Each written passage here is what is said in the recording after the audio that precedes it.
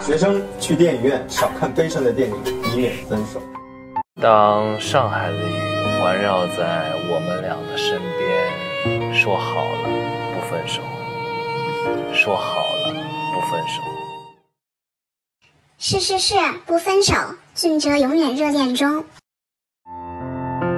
我家里面人比较喜欢叫我叫俊宇，俊宇。哈哈，一个汉汉，一个俊俊，是家人叫的。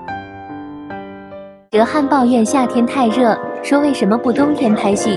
俊子听完醋意飞起，内心 OS：冬天拍戏我就不认识你了，你就是别人的老婆了。西蒙真有你的。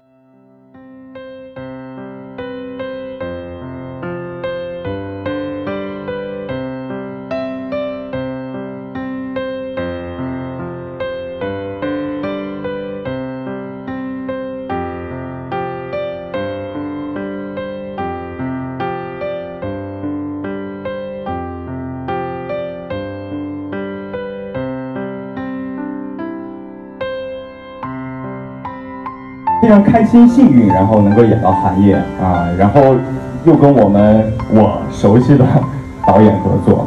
已知《山河令》和《安乐传》都是程导、马导领衔的导演团队，所以俊子说的我们就是他或张老师，哈哈，哪怕是我们还要改成我，真绝。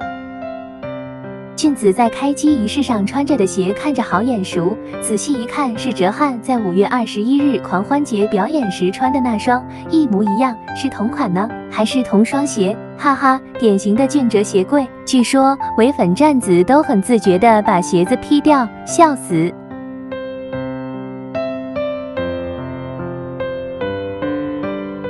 中国水球队出征东京奥运会，其中水球队员于七月二十日下午发文小表达对参与此项国际赛事的期盼与激动之情，同时艾特哲瀚表达无法参与其演唱会的遗憾，并希望张老师能为自己打 call。随后哲瀚回复小姐姐为其鼓气加油，同担小姐姐好优秀。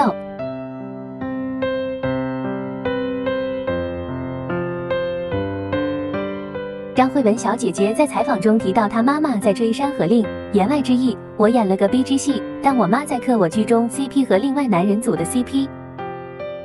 一方有难，八方支援；河南雨灾，全国齐心协力，共度难关。俊子和哲瀚第一时间纷纷捐钱捐物，山人们也以龚俊和张哲瀚的粉丝名义纷纷献出爱心。